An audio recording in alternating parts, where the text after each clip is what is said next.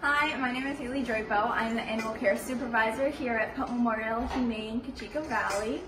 Um, we do a little bit of different things here as far as enrichment. So on different days of the week, we will have different ways we feed the dogs, different ways we interact with the animals. Um, so for our Sundays, we'll do classical music in the morning from 8 to 12. Um, and then for our feeding, both AM and PM, we do what we call our slow feeders. So this is our slow feeder and we have different sizes as well. If a dog doesn't like a slow feeder, um, it will be listed on our chart. So this is the chart we have. We have our dogs, what they like and what they dislike. We just underline it so it's easier to tell what dogs like what. So we're not wasting any materials or any food.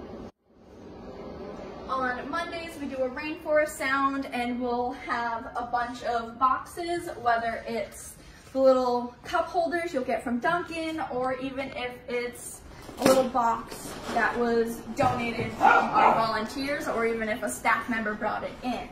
On Tuesdays, we have the wind chimes playing in the morning and then we'll do we call honey buns.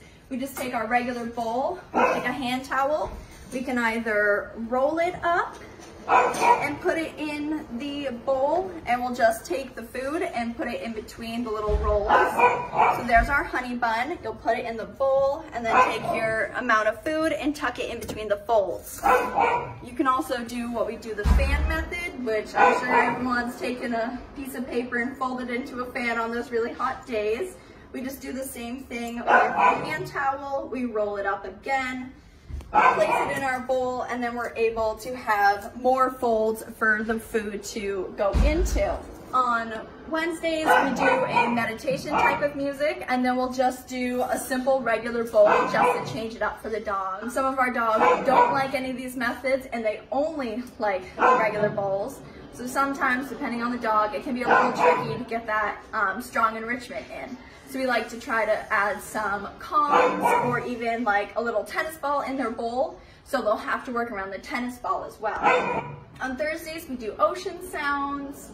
Um, and we use our Kong wobblers. All you do is add the food in up top, screw it in, and they'll have to wobble it around. We also have some other wobblers, such as little fun balls. You just add the food in and they'll be able to go about it. Um, we also have our snuffle mats. That's always a great tool to use. We don't have a select day for the snuffle mats just because we don't really have a lot of them. On Fridays, we do New Age Yoga um, for the sounds, and we'll do a slow feeder again. Because we are kind of limited to the amount of tools to use for enrichment, we like to repeat it just so it helps our animal care staff be on more of a schedule. And then on Saturdays, it's spa music and back to regular bowls.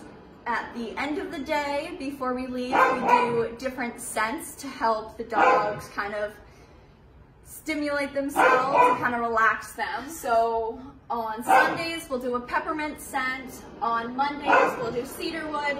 Tuesdays is lemon, Wednesdays is orange, and then back to the cycle, we'll do Thursdays cedarwood, Fridays peppermint, and Saturday lemon.